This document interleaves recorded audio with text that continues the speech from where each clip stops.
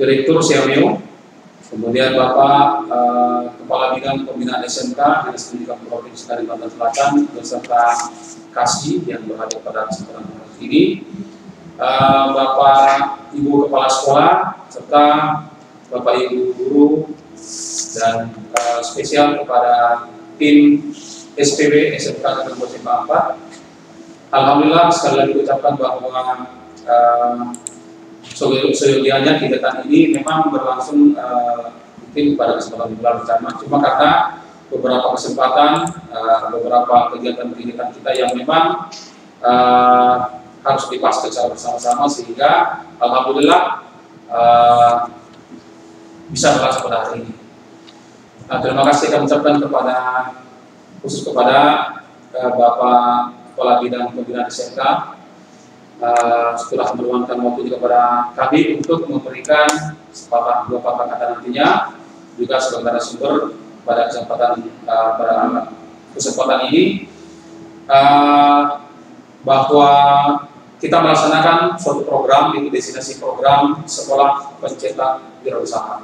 Ini adalah uh, kelanjutan dari program-program sebelumnya, kegiatan-kegiatan sebelumnya yang yang kami laksanakan sehingga hari ini alhamdulillah bisa uh, melakukan destinasi program.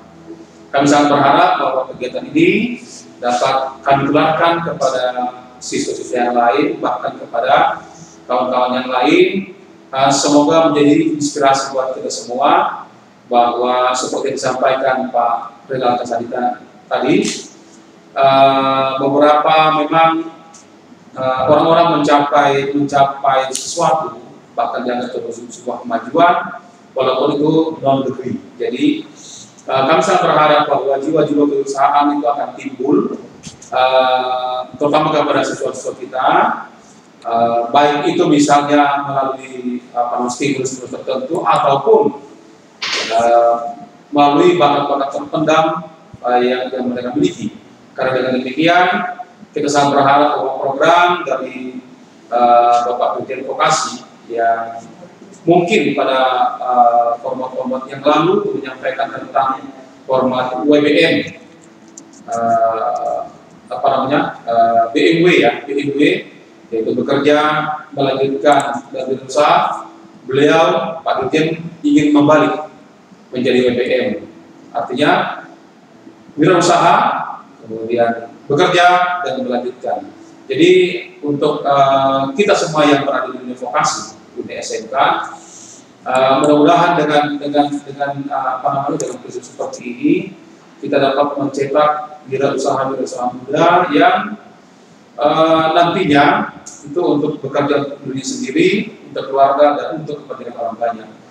Uh, dalam kegiatan yang kami hadiri bersama dengan Bapak Kabit di Sawangan yang lalu, ada beberapa penampilan dari uh, apa namanya dari para siswa yang ternyata di luar dugaan. Dengan kegiatan seperti itu sudah mampu bahkan omsetnya sudah sampai 1 m. Jadi dari kalau saya dari, dari Palembang kalau tidak salah itu sudah apa namanya melakukan kegiatan-kegiatan yang memang omsetnya sudah sampai segitu banyak. Uh, kami sangat berharap bahwa ini semua menginspirasi kita dalam rangka menumbuh kembangkan uh, jiwa-jiwa berusaha dalam diri anak kita sehingga mereka mampu berlaku ya untuk untuk apa namanya untuk dirinya sendiri untuk masyarakat dan untuk bangsa dan negara. Uh, sekali lagi kami ucapkan terima kasih uh, kepada semua pihak, kepada Bapak Kabit, serta staf, uh, kemudian kepada tim uh, SPB Negeri Sukapat. Mudah-mudahan apa yang kita uh, kerjakan bersama ini akan mendapatkan akan bernilai ibadah dan mendapatkan pahala di sisi Allah Subhanahu wa taala.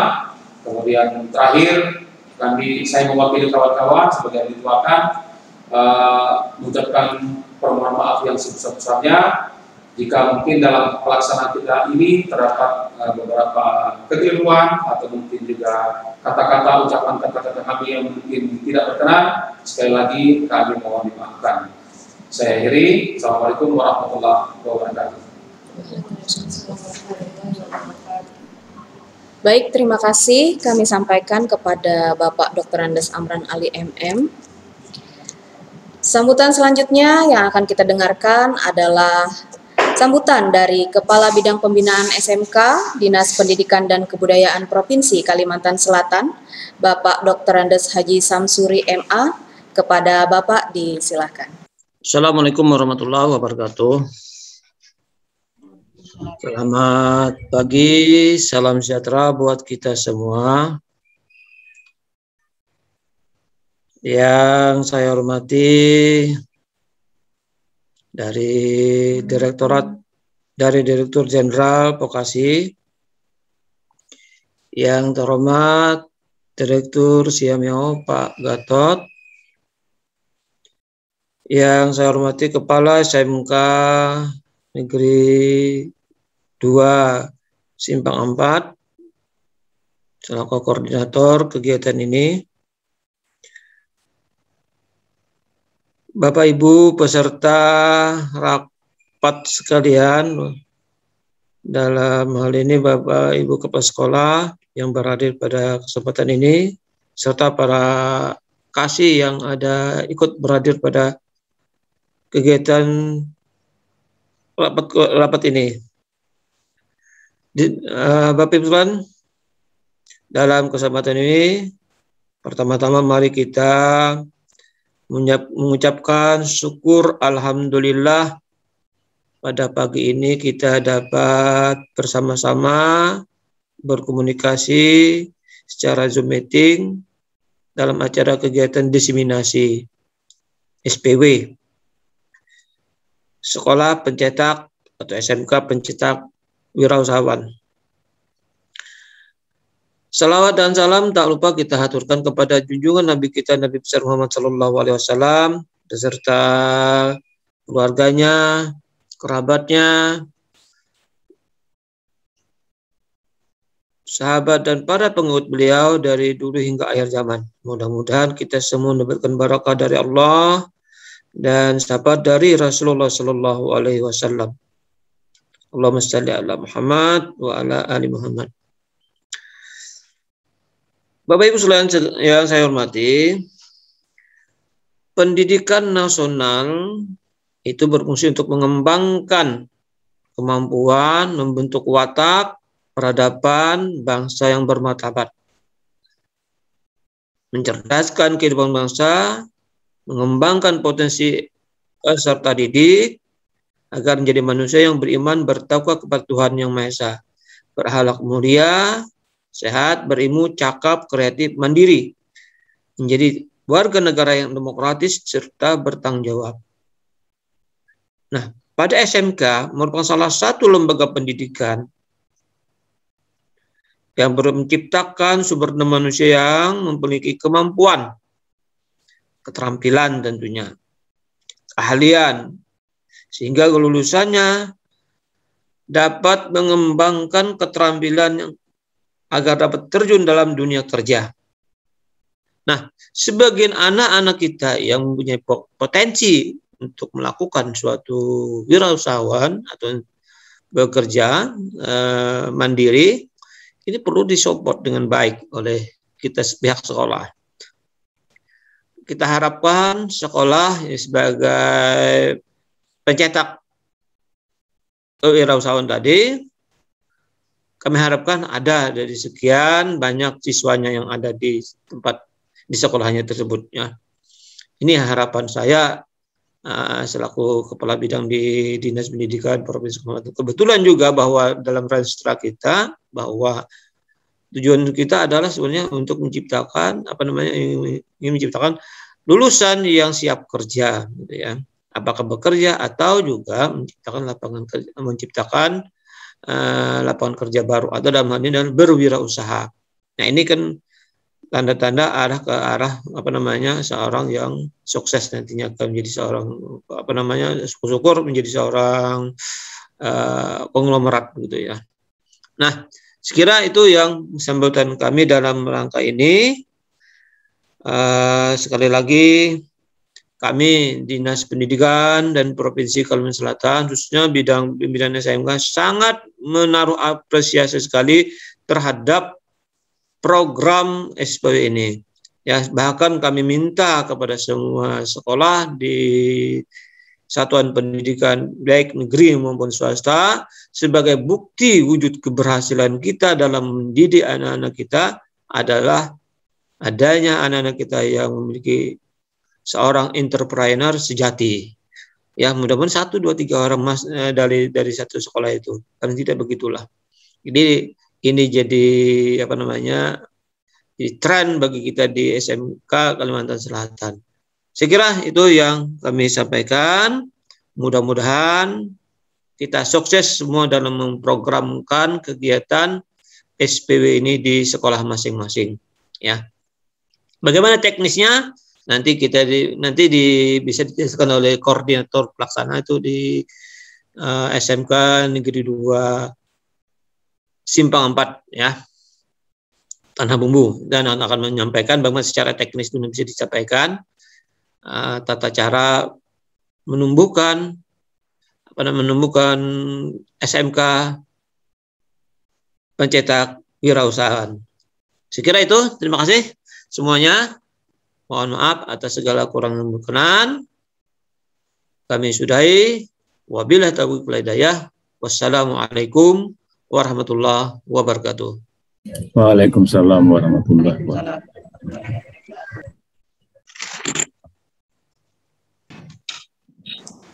Baik, sebelum melanjutkan acara, kami ingin menyapa Bapak Dr. Gatot Hari Priyo Wiryanto selaku Direktur dari Seameo. Selamat bergabung kami ucapkan Bapak, Pak Gatot. Terima kasih, selamat pagi. Uh, salam dari Jakarta, apa kabar Kalimantan Selatan? Dengar suara Baik. Alhamdulillah baik-baik, Pak. Alhamdulillah bagus, Pak. Sehat semua nih. Kita lanjutkan ke acara berikutnya. Sehat. Sehat. Ya.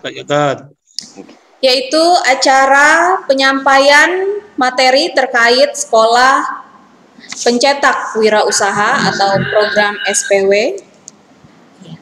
Acara penyampaian materi langsung kami mintakan kepada Direktur dari Seameo, Bapak Dr. Gatot Hari Priyo Wiryanto.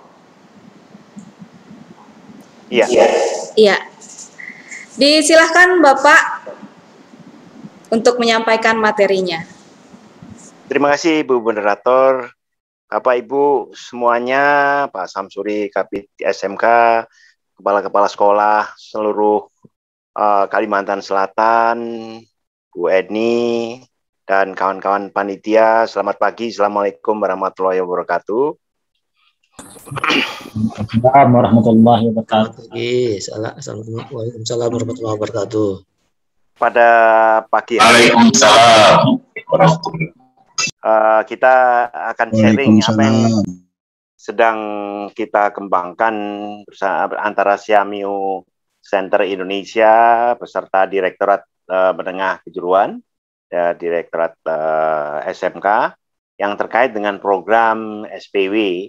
Jadi SPW ini udah uh, angkatan kelima. Uh, di, bagaimana kita mencari anak-anak yang punya talenta bisnis di masing-masing sekolah.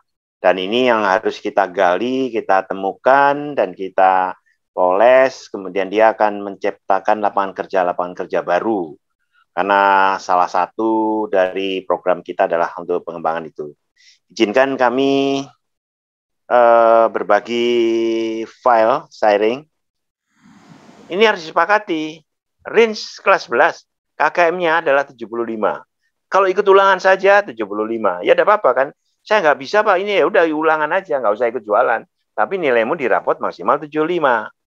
Tapi kalau dia bisa menggeser barang reseller dan nilainya adalah uh, 200 ribu sampai 300 ribu, kamu akan dapat miliar range-nya 75 80 dan seterusnya. Bila di atas 1 juta, nilaimu bisa 95 sampai 100 di rapot gitu kan. Ini yang uh, terus kita coba pikirkan gitu kan. Nah, kelas 12 juga begitu. Jadi ini yang harus disepakati oleh kepala sekolah dan guru PKK. Jadi uh, dan diketahui oleh semua siswa di dalam uh, program-programnya. Nah, penilaiannya gini, teori 30 persen, keterampilannya 70% di mana omset 50% megang peranan, bagaimana promosinya dia, bagaimana transaksinya. Ya kan nanti akan kelihatan. Kalau saya jualan memindahkan komputer saja omset saya 15 juta. Tapi kalau saya jualan uh, kuliner itu mungkin omsetnya 3 juta, tapi transaksinya banyak. Nah, itu tinggal Bapak Ibu guru bagaimana menilai memasukkan itu. Karena yang penting adalah rewardnya bahwa anak yang ulangan dan yang berbisnis itu beda. Jadi ini untuk menyemangat anak-anak kita. Dan nah terus kita bisa lihat nah, contoh yang lampiran berikutnya lagi. Ini contohnya. Tadi aku bilang tadi kan, Nanda itu harus punya kontrak. Setiap orang harus punya kontrak. Apakah kontraknya 100 ribu, 1 juta ini di Bandung. Ini kontraknya si Nanda ini 1 juta sampai Desember sekarang. Kemudian kita udah mulai Oktober itu gimana? Dia ada 500 ribu, sekian ribu, dan sebagainya. Dan ini inilah yang dimasukkan dalam penilaian. Kalau dia mencapai satu juta, di sini udah lebih dari satu juta kayaknya. Itu ya nanti nilainya tinggal dievaluasi aja. Apakah dia akan menjadi 9 atau 10 gitu lah, kira-kira itu. Kemudian, ah, tapi ada juga temannya yang di bawah satu juta gitu kan. Dan juga ada yang nol, nggak apa-apa. Kalau memang ada yang nol ya biar tulis saja nol gitu loh. Jadi yang siapa yang mencatat itu adalah Nanda, Elvira, dan Siti untuk melengkapi ini dan itu terbuka gitu loh. Ini saat satu apa? Ini latihan kejujuran bahwa orang bilang ini bisa cheating. Orang mencheating atau nipu itu adalah bukan nipu orang lain tapi adalah menipu diri sendiri. Kalau dia terbiasa menipu diri sendiri, dia akan kesulitan di dalam bekerja. Dia bisa bekerja tapi kesulitan untuk naik pangkat atau berinteraksi karena dia sudah terbiasa cheating. Di sinilah yang kita eh, pelajar Pancasila salah satunya kemandirian, kejujuran, kerjasama itu diasah. Di, dia tulis kalau nol ya nggak apa-apa, nggak usah malu. Ya saya nggak bisa jualan bulan ini, minggu ini nggak nggak bisa menggeser barang, nggak apa-apa. Tulis nol aja. Tapi minggu depan bisa jadi dan dicatat gitu. Ini satu contoh ya. Yang ini satu kelas AKL. Gurunya siapa? Gurunya Bu Yeni. Ya, kelasnya 11 AKL 1. Nah, terus kemudian ada lagi yang masih Bu Yeni tapi AKL 3 gitu kan. Ada omsetnya juga 600 ribu nggak apa-apa. Uh, yang kecil 500 ribu juga nggak apa-apa. Ada yang kosong ya bilang nggak apa-apa, nol aja gitu kan. Saya nggak bisa. Ini anak-anak ini yang lapor kepada komandan regunya, ke Nurul itu kaptennya, Asti itu danrunya satu, dan danru dua gitu. Jadi pola ini yang kita dorong sehingga indikator kinerja guru PKK sama kepala sekolah bisa terukur. Uh, bukan karena ulangan, karena sekarang nggak ada ujian nasional kan. Ini salah satu cara kita mengukur anak-anak yang mandiri. Gak bisa, wah anak saya 10% mandiri. Ditanya siapa namanya? ABC, dia jualan apa, DEF, berapa omsetnya, nggak bisa jawab. Kalau dengan ini, guru PKK, kepala sekolah bisa dengan gagah, dia menjawab dengan jelas. Di sini Pak, namanya ada yang salah satunya Nurul, targetnya satu setengah juta per semester, omsetnya sampai saat ini bervariasi sampai sekian per bulannya, per minggunya bisa kelihatan. Silahkan lihat di webnya gini. Nah itu adalah indikator kinerja daripada di sini adalah Bu Yeni, guru PKK. Tapi kalau dikompilasi ini adalah indikator kepala sekolah. Dan nanti dari direktorat sedang kita coba menyiapkan untuk dashboard-dashboardnya itu gitu. Itu yang perlu di disamakan persepsinya.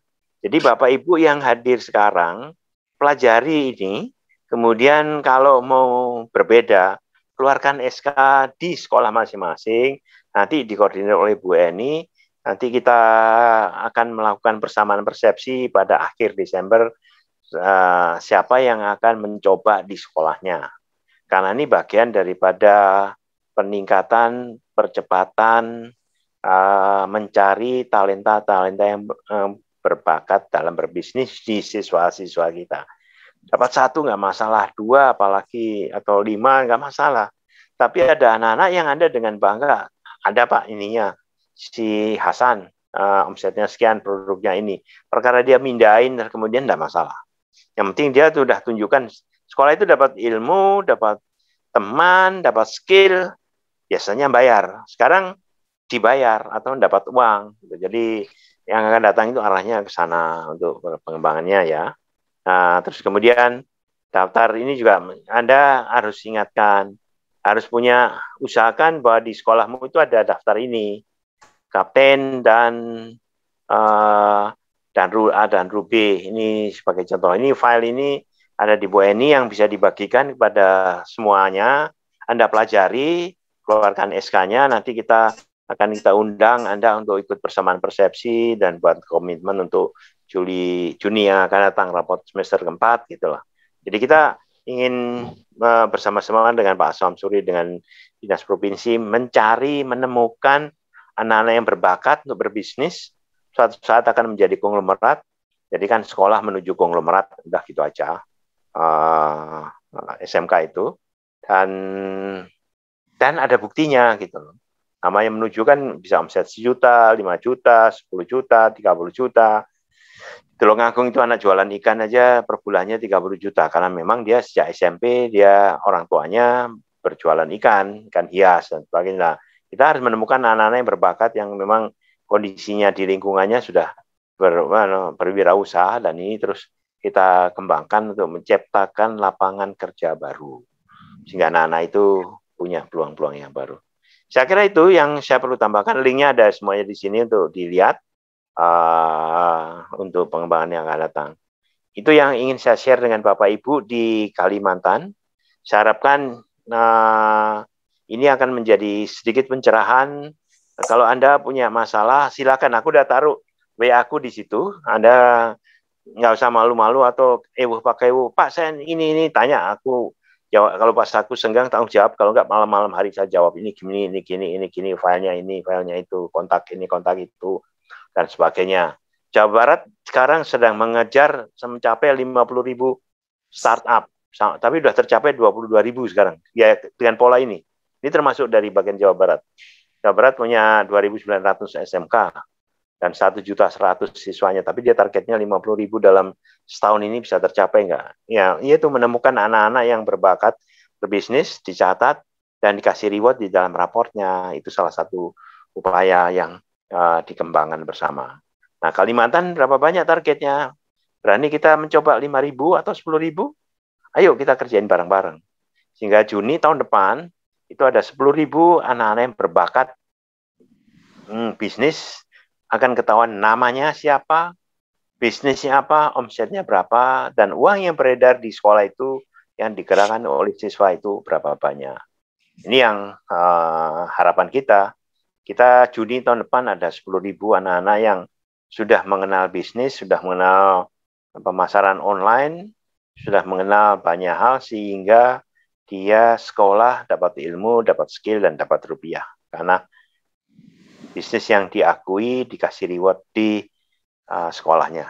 Saya kira itu, Ibu Bapak dari uh, Kalimantan Selatan. Ayo kita buat Kalimantan makin jaya dalam mencetak uh, anak-anak uh, di mandiri di masa depan. Terima kasih. Silakan kalau ada pertanyaan dan kita bisa diskusi. Sekolah pencetak kewirausahaan. Jadi dimulai daripada guru yang bersangkutan, jadi mulai guru-gurunya, guru guru, PKK, guru ya berkumpul bersama, kemudian memutuskan untuk melaksanakan itu, untuk mencari terhadap anak-anak yang berbakat tersebut. Dan segera untuk bisa dilakukan pembuatan penyusunan keorganisasiannya ya yang nantinya akan dieskakan oleh pihak kepala sekolah untuk membawa anak-anak kita ke arah yang lebih baik tentunya untuk mengarah kepada penciptaan apa namanya penciptaan kemandirian dalam rangka menciptakan sebuah kewirausahaan. Nantinya dengan program ini tadi maka anak-anak kita nanti setelah lulus SMK dia sudah bisa bekerja mandiri di masyarakat. Saya kira itu dulu untuk materi kita yang pada saat ini. Terima kasih. Baik, terima kasih Bapak Ibu luar biasa. Tepuk tangan untuk kita semua. Uh, saya ucapkan terima kasih banyak yang sebesarnya kepada Bapak Dr. Andes Haji Samsuri MA selaku Kepala Bidang SMK Dinas Pendidikan dan Kebudayaan Provinsi Kalimantan Selatan, PLT Kepala SMK Negeri 2 Simpang 4 Dr. Andes Amran Ali MM, kemudian tim SPW dari SMK Negeri 2 Simpang 4 dan tak lupa pula Pak Gatot dari Direktur Siameo dan Bapak Ibu sekalian, kepala sekolah atau perwakilan dari SMK se-Kalimantan Selatan. Terima kasih banyak saya ucapkan dengan mengucap hamdalah, marilah kita bersama-sama mengucap hamdalah, alhamdulillahirabbil alamin. Maka berakhir pula acara diseminasi program Sekolah Pencetak Wirausaha tahun 2021.